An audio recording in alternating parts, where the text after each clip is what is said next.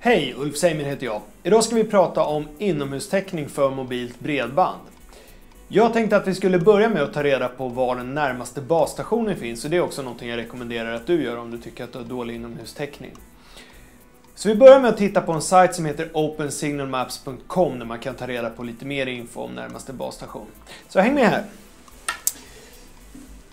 Det här har öppnat opensignalmaps.com och jag skriver in min adress. Jag befinner mig på Rökerigatan 19 i Johanneshov som är ett av de förslag som kommer upp här. Jag väljer att bara visa Telias master eftersom det är Telia jag använder. Och jag föredrar att bara se vilka 3G-master som finns i närheten. Jag zoomar in lite här och ser att mitt här i kartan det är där jag sitter och där finns det en 3G-station. Slår jag på 2G så ser jag att det finns en hel del stationer i närheten men nu är det just 3G jag är intresserad utav.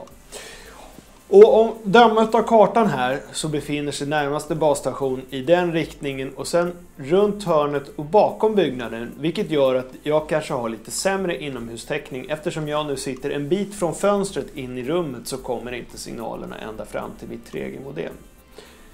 Så vad kan vi då göra åt det? Jo, här kommer ett förslag. Man kan naturligtvis flytta sitt skrivbord närmare fönstret för då kommer signalerna lättare att nå till 3G-modemet. Men det kanske inte är möjligt och då får vi helt enkelt titta på andra lösningar.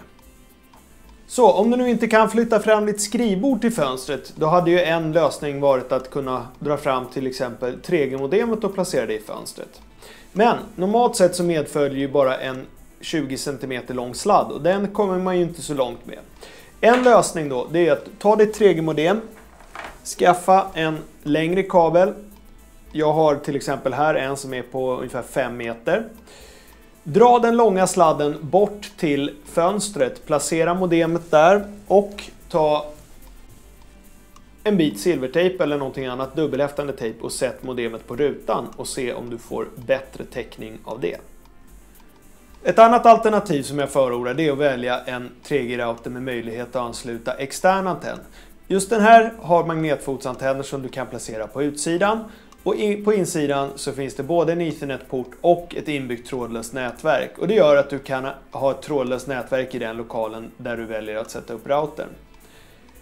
På så sätt så kan du dra nytta av den både från datorer, smartphones, surfplattor och annat. Så du har fler funktioner och fler möjligheter än med ett vanligt 3G-modem. Ett alternativ till en 3G-router är att istället sätta upp en 3G-repeater. Den ser ut till exempel så här. På så sätt så kan man förstärka upp signalen från 3G-masten i det rum där den här är placerad.